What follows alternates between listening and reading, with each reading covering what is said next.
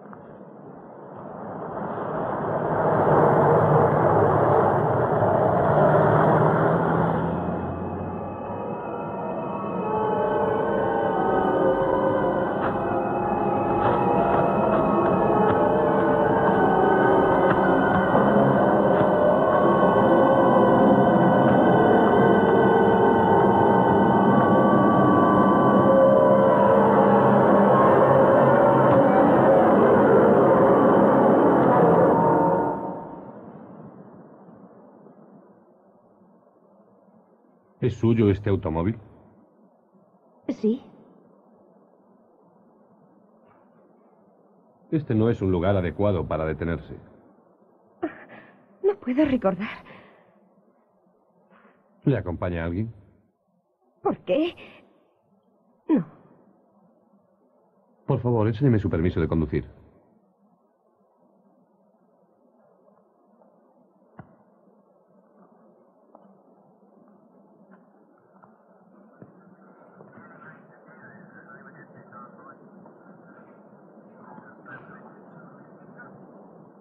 Teresa Control, auto deportivo rojo, modelo B de Bravo, M de Miguel, W de Whisky, matrícula 189.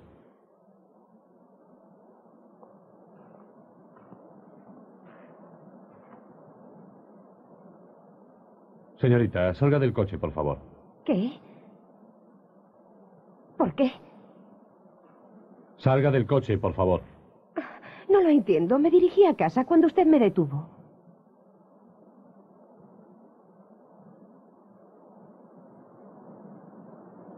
¡Oiga!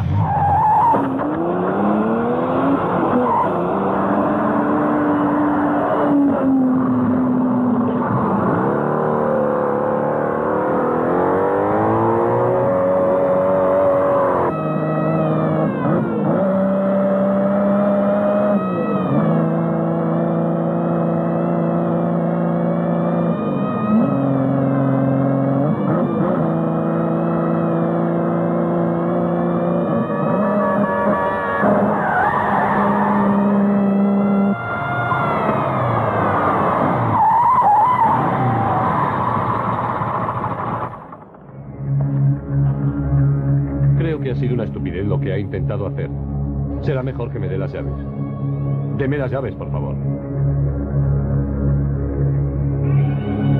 No trate de pasarse de lista, señorita.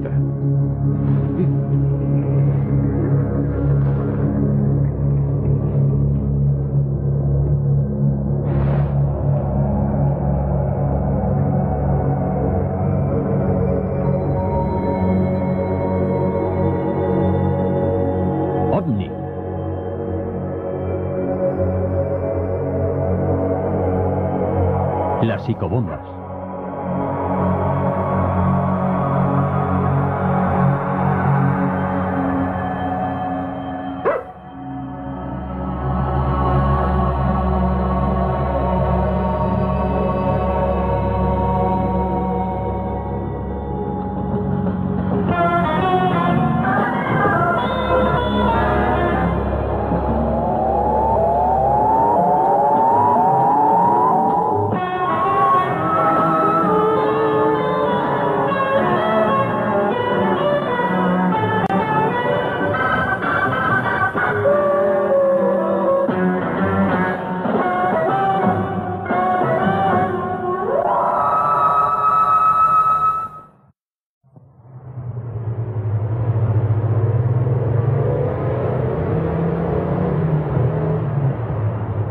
El comandante Straker.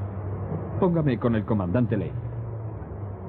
Bien, con el comandante Foster. No se moleste. Solo dígales que llegaré pronto y que les felicito por su eficacia.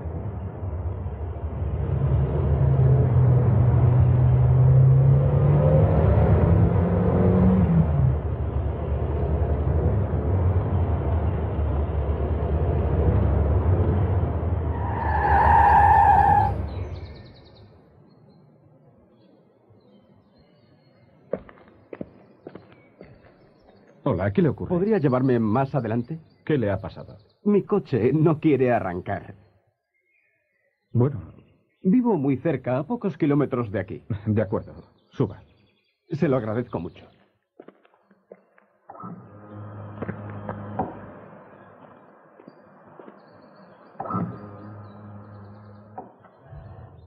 Lamento mucho molestarlo con esto. No me molesta.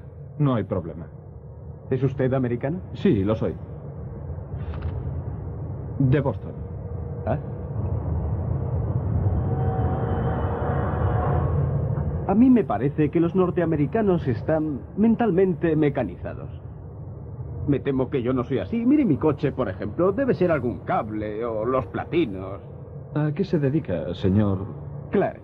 Daniel Clark. Trabajo en un banco, como administrativo. Siempre me jacto de ser un buen psicólogo. Yo diría que usted es una especie de ejecutivo. Pues sí, algo así. ¿Petróleo? Una compañía de películas. Ah, películas. Debe ser muy interesante. Eh, perdone, ¿puede dejarme por aquí?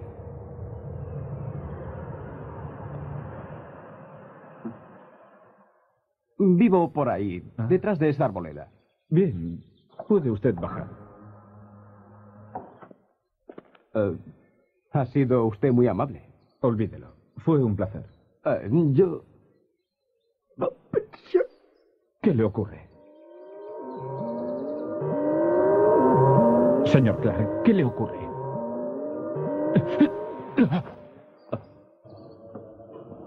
El coche del comandante Stryker. ¿Dónde? A tres kilómetros del cruce 14.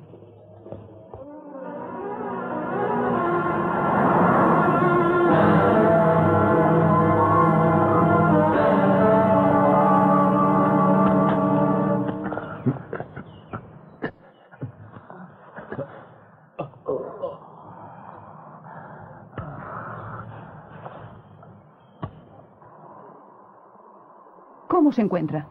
Como si hubiera sido zarandeado por un orangután. Pues temo que aún así vivirá, comandante. Muchas gracias, doctor.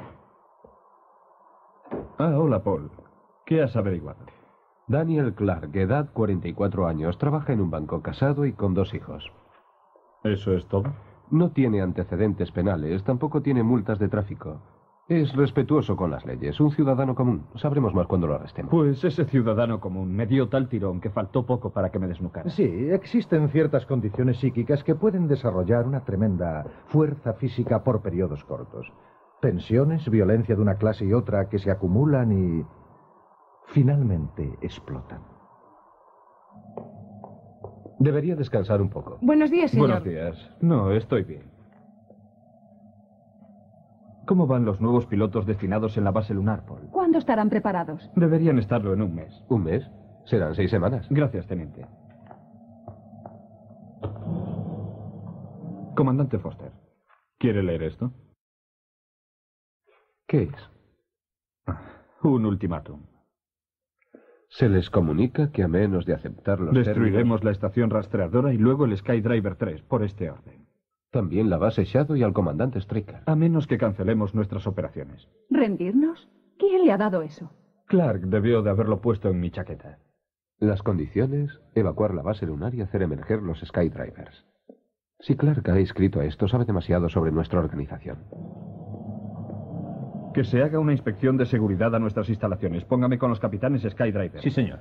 Envíe una señal de alerta amarilla a la base lunar y mientras esperamos habrá aquí una alerta de 30 minutos. ¿Ha tomado esto en serio? Una vez cierto capitán de policía que recibía 100 cartas de estas a la semana ignoró una y esta le costó la vida. Avise al comandante del Ferti, el primero de la lista. Sí, señor.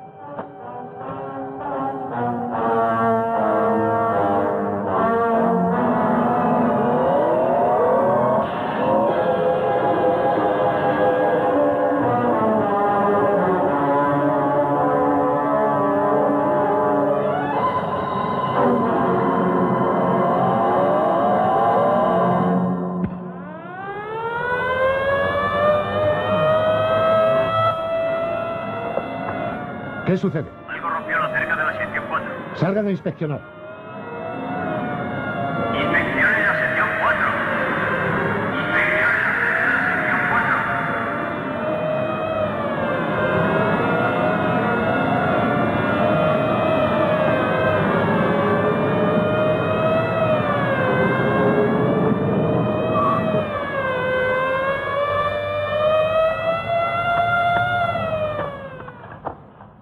Ahí está. ¡Quieto! ¡Tírese boca abajo! ¡Vamos!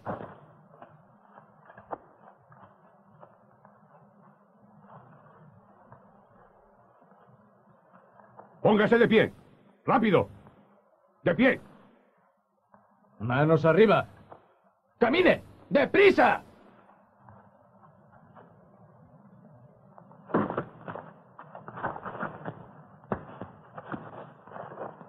Lo tenemos, señor. Iremos enseguida.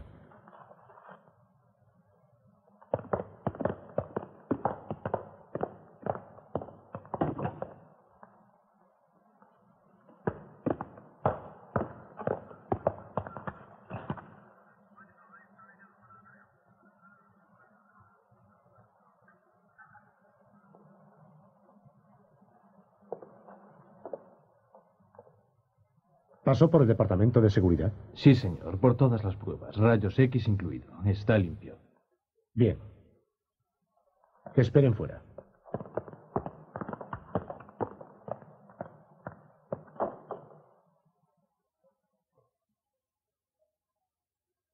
¿Cuál es su nombre? Clark. Daniel Clark. Pero me parece que estoy un poco confundido.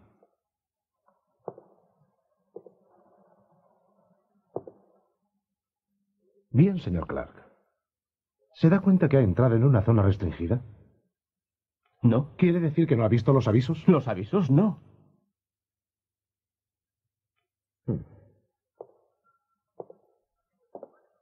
¿Tiene máquina de escribir? ¿De escribir? No. No tengo. De acuerdo. ¡Guardias! Enciérrelo y diga que lo comuniquen a control. Oiga, no sé lo que ha pasado. ¡Silencio y siga caminando! ¡Camine!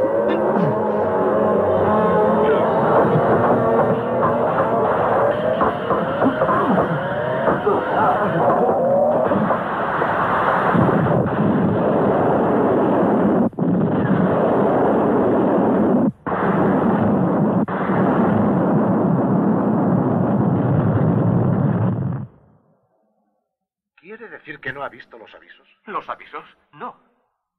¿Tiene máquina de escribir? ¿De escribir? No, no tengo. De acuerdo. ¡Guardias! Enciérrelo. Y diga que lo comuniquen a control. 64 segundos más tarde se produjo una explosión de grado 14. Bien, capitán, usted es el experto. Debo admitir que no lo entiendo. A ese hombre Clark se le desvistió y se le revisó electrónicamente. No tenía nada. Los resultados registrados indican radiación negativa, rayos X negativos, biosensores negativos. Y para una explosión de esa magnitud se necesitan dos kilos de nuestro explosivo más moderno. O dos litros de nitroglicerina. El centro de la explosión se registró en el grupo eléctrico principal. Sí, con una carga de 10.000 voltios, pero si hubiera intentado volar algo allí, solo habría conseguido volar los fusibles o electrocutarse. Lo peor hubiera sido un incendio. ¿Había en la base algo que pudiera haber usado? No, no había explosivos de ninguna clase ni material nuclear, nada. En condiciones normales, con un saco de harina se puede hacer una bomba, pero nada que pudiera provocar una explosión de tal magnitud. Capitán, trasládese a nuestras instalaciones navales. Lo pongo al mando del control de seguridad de Skydriver 3.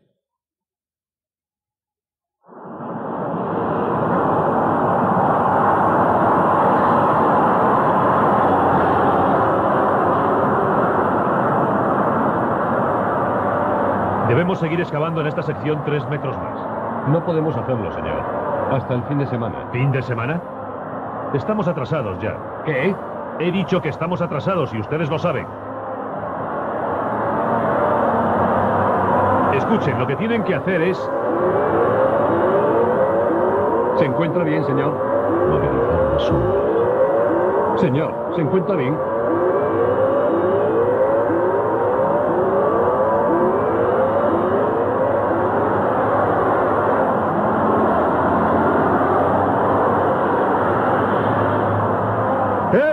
¡Apártese! ¡Cuidado!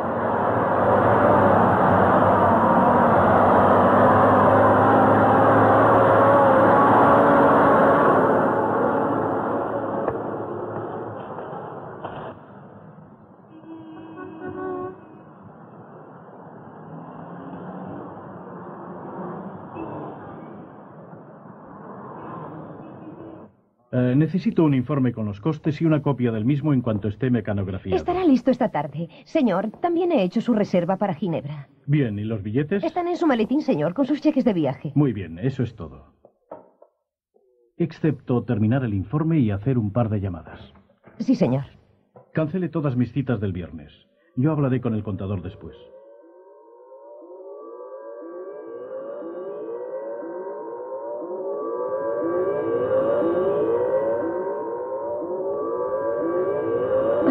Discúlpeme, señor, debo irme. ¿Se encuentra mal? Debo irme. ¿Qué le ocurre? No la entiendo. Debo irme inmediatamente. No se encuentra bien. Siéntese. ¡No!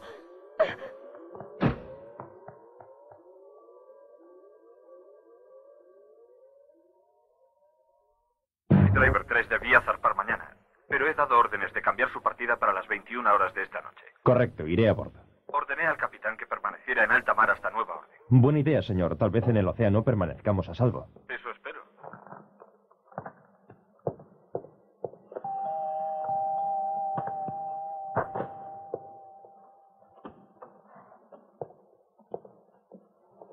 Oiga, ¿quiénes son? ¿Qué es lo que hacen?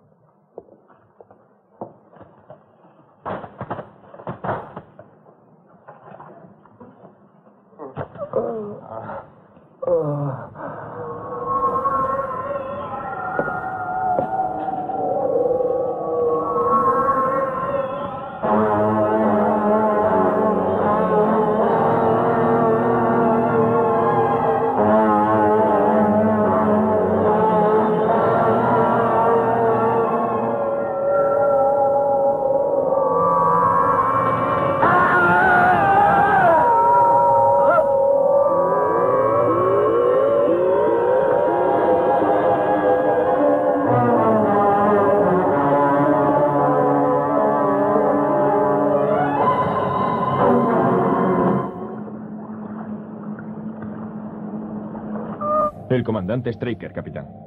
Gracias. Por favor, compruebe su hora de partida, capitán. Partiremos a las 21 horas, señor. ¿Y ya han inspeccionado la nave? Sí, la hemos examinado con computadores electrónicos, señor. Bien. Buena suerte, capitán. ¿Y ahora? No podemos hacer nada excepto esperar. No lo creo así. Me parece recordar que hay un ovni sin localizar. Y quiero que lo encuentren. Sí, señor.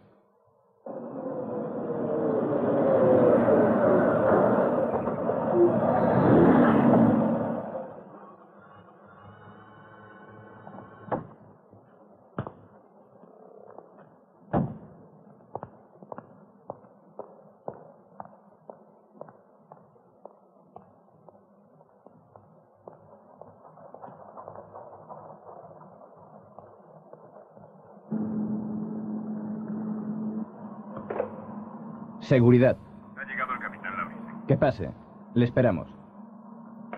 Llegó el capitán Laurisen. Bienvenido, capitán.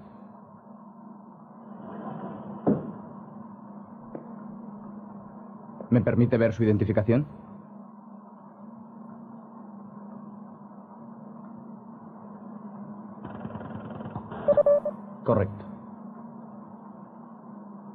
Gracias, señor. ¿Puedo ver su maletín?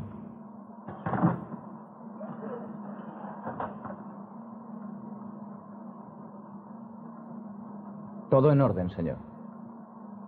Pase a huellas digitales, por favor.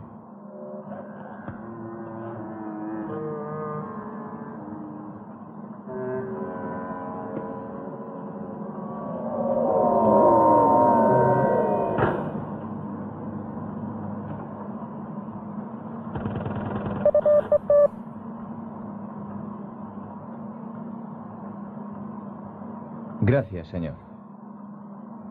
Bien, todo parece estar en orden.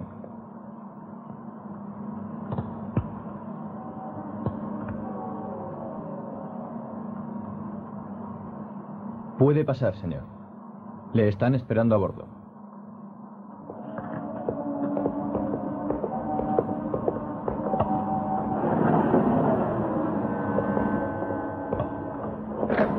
Llame al capitán. Skydriver. Aquí seguridad. Tenemos un intruso. ¿Está armado? No, señor. Alerta general. Alerta general. Llame al comandante Straker. Sí, señor.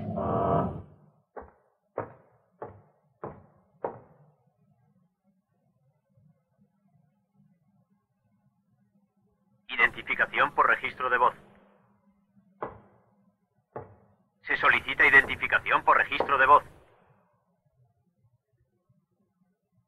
Dispone de cinco segundos. Identificación negativa. ¿Dónde se encuentra? En la trampa de voz, señor. Dirija el Skydriver al océano. Estaremos fuera en un par de minutos.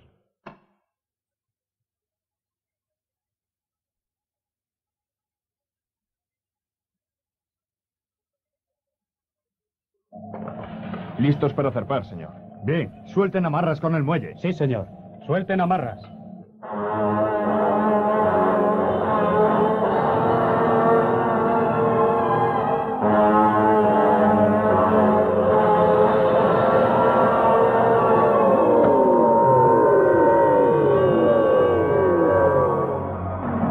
Cierren escotilla de cubierta. A la orden, señor. Cierren escotilla.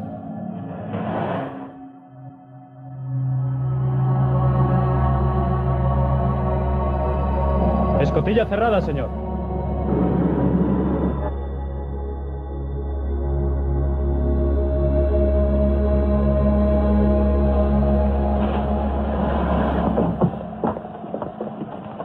Adelante.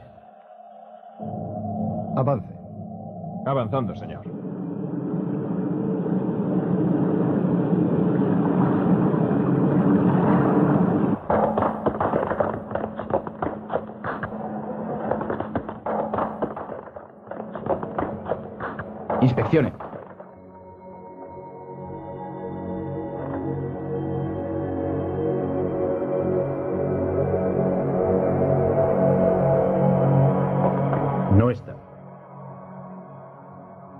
De estar a bordo.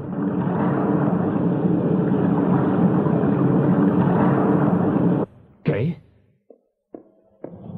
¿Cómo? No lo saben con exactitud. Parece que forzó la puerta de seguridad. Con el Skydriver 3, ¿cómo un hombre desarmado pudo traspasar una puerta de seguridad de 5 centímetros de espesor? El capitán en la línea, señor.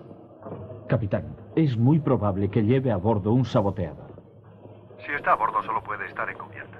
Me encargaré de él. Estoy completamente seguro de que lo hará. Pero manténgame informado. Sí, señor.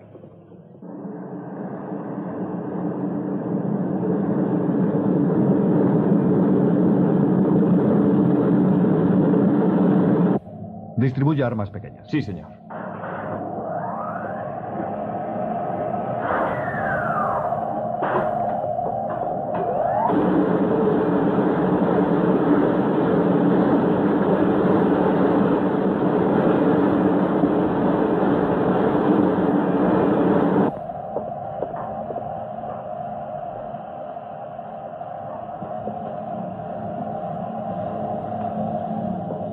Está arriba, señor, en la torre de mando. Ni se le ocurra, capitán. Podemos abrir la escotilla y capturarlo. He dicho que no, capitán. ¿Han alcanzado ya la zona de seguridad? Sí, casi, señor. Entonces inicie la inmersión. Señor. He dicho que se sumerjan. Comandante, arriba en cubierta está tan solo un hombre desarmado. Capitán, obedezca. Esas son las órdenes. Inicien la inmersión. Inicien la inmersión. Muelles 1 y 2.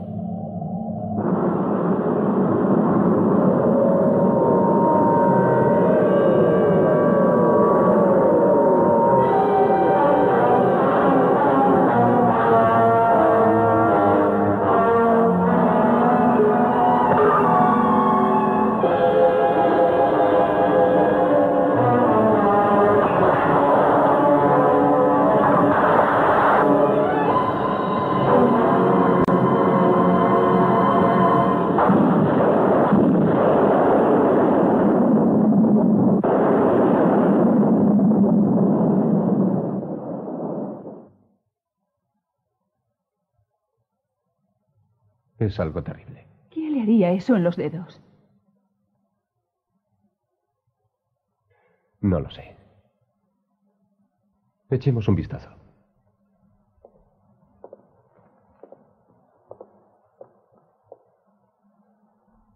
Paul.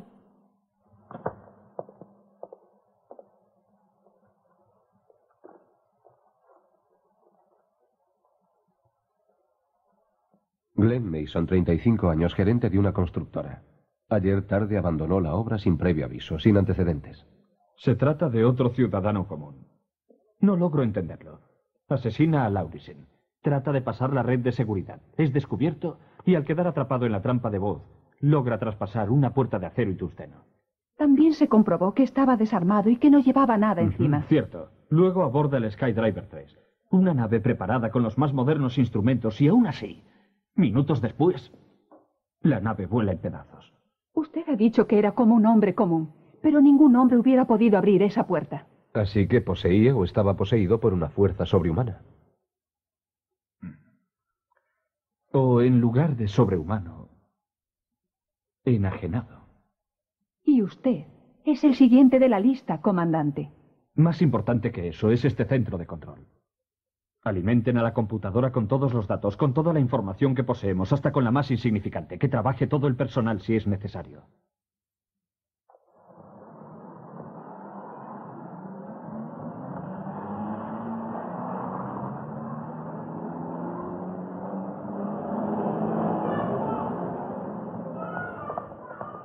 Buenos días, Linda. Buenos días.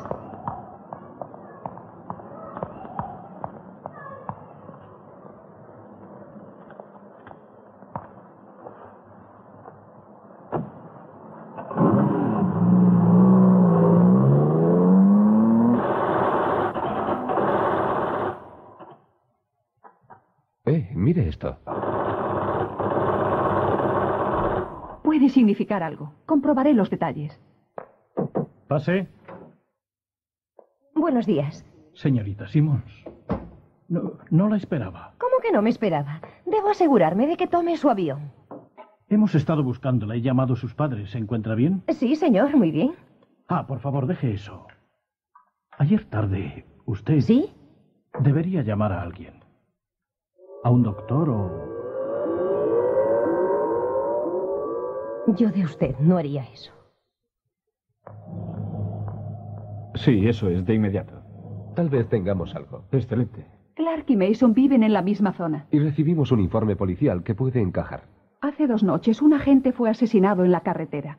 El forense asegura que se ha utilizado una fuerza extraordinaria o sobrehumana para estrangular a ese hombre. El momento de la muerte se ha establecido a las 22 horas. A las 21.54 el patrullero informó sobre un coche aparentemente abandonado a un lado de la carretera.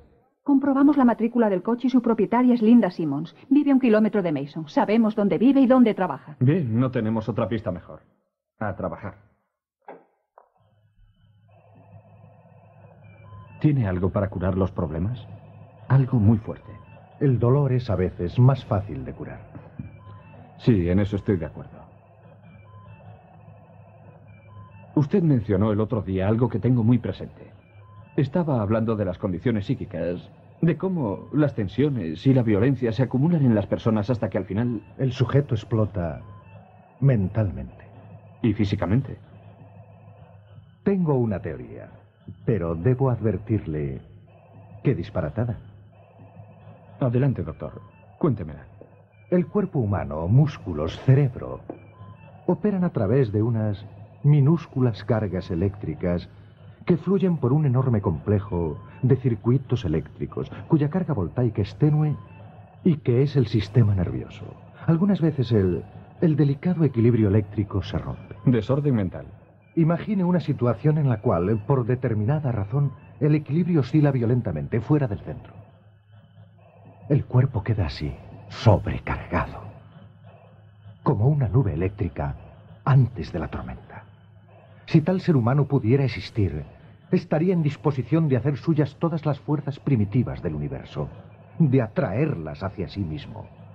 Espacio, tiempo, luz, potencial eléctrico, energía, Todas están relacionadas. El resultado, una bomba humana. Una psicobomba, como la.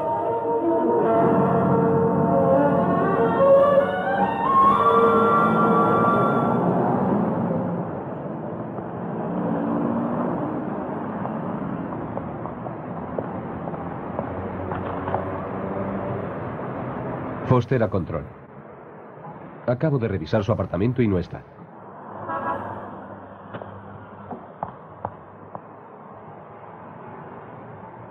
Permite su pase?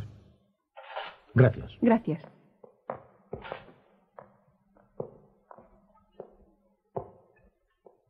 ¿Qué ha pasado? Un hombre fue asesinado. ¿Quién lo hizo?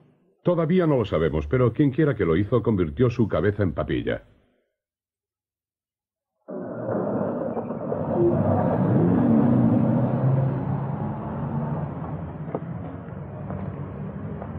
Señorita Simmons, ¿Sí? me llamo Paul Foster. Es un nombre impresionante. Hace un par de noches tomó la ruta 107 para volver. Sí, ¿En este coche? sí. Ah, el policía. ¿Qué hay del policía? Un patrullero me detuvo y todavía no sé por qué. Quisiera hablarle sobre ello. De acuerdo. ¿Por qué no? Demos un paseo. Paul, la señorita Simmons es una de ellos. Debe ser considerada muy peligrosa. Paul. Adelante, Paul. Adelante, comandante Foster.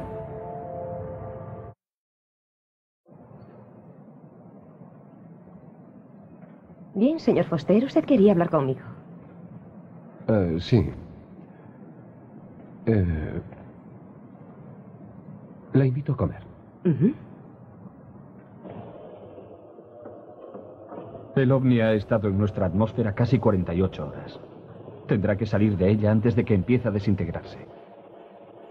Diga que centre en el área de búsqueda aquí. Sí, señor. Unidades móviles en camino. Excelente. ¿Qué pasa con Foster? Aún no hay contacto con él, señor. ¿Estuvo en la oficina todo el día? ¿Cómo sabe que trabajo en una oficina? Tenemos nuestros métodos. No, mi jefe partió hacia Ginebra. Es un gran hombre. ¿Le agrada? Sí, creo que es muy agradable. Yo siempre le he llamado señor. Mire los cisnes. Hay uno muy grande.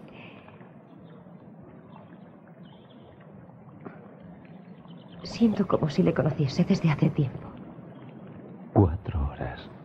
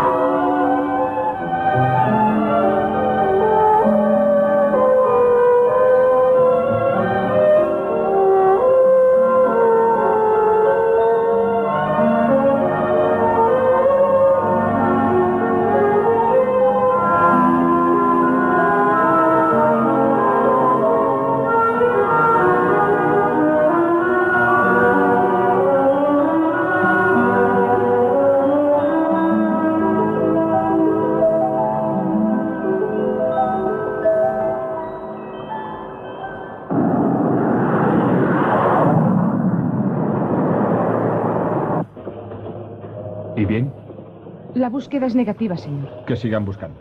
Sí, señor. Atención. A todas las unidades, repito, a todas las unidades, intensifiquen la búsqueda. Paul. ¿Por qué has venido a verme? No lo sé. Tal vez haya sido tu magnetismo personal. ¿En serio? ¿Por qué todas esas preguntas? Rutina. ¿Solo rutina? No hay nada por qué preocuparse.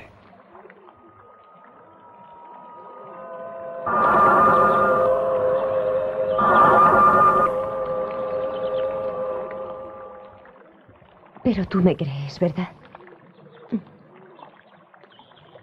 No es así. ¿Qué va a hacer? Foster viene con Linda hacia este centro de control.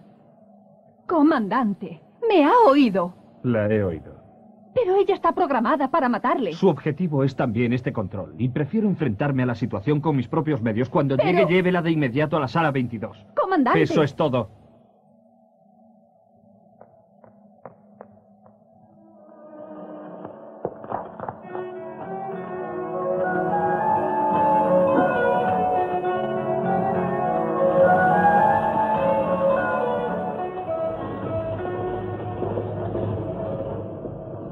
Todavía nada, señor.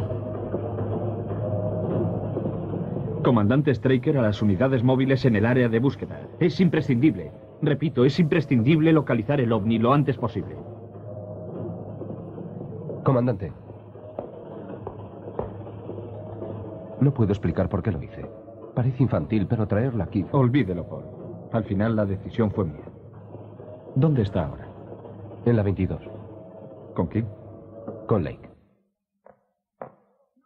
Quiero que me diga no lo sé. Quiero respuestas.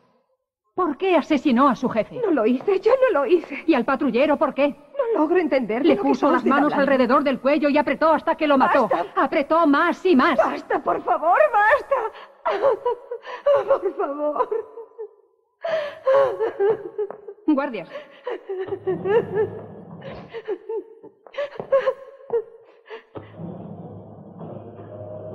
Ella aplastó la cabeza de un hombre con sus manos. Una psicobomba. Con la posibilidad de hacer suya toda la energía del universo. Pero ¿cuál es el detonador? El ovni está despegando.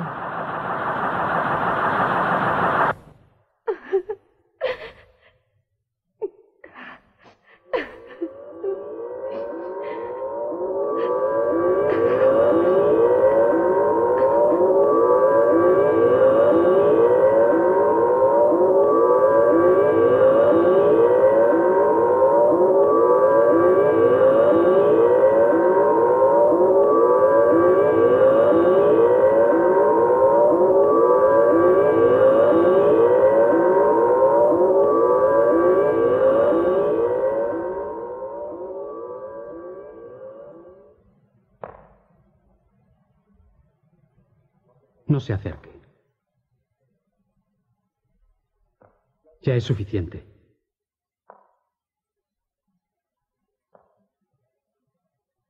Dije que era suficiente. Un paso más y disparo. Área 4 verde, radar terrestre localizó al ovni. Sky 4 a control. Tenemos el ovni localizado. ¿Posición? La tendremos en tres minutos.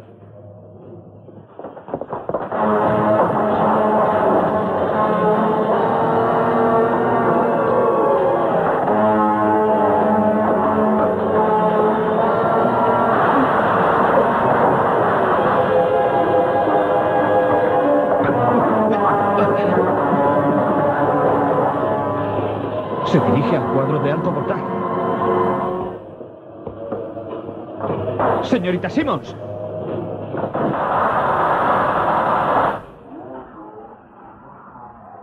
Nos han dado un ultimátum.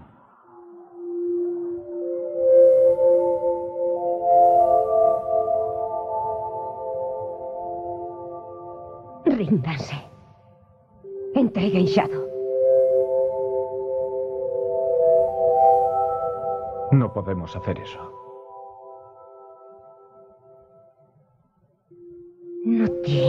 Otra alternativa.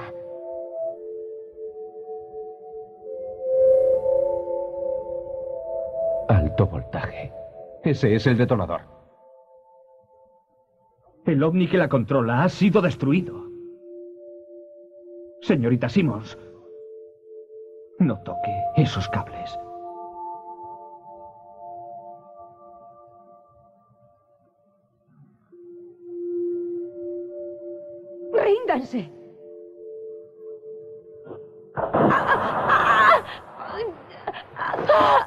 Circuito de emergencia. Linda.